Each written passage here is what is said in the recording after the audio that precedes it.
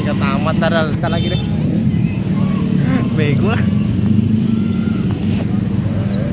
Tuh. Jauh udah jauh. Udahlah udahlah Ini pulang.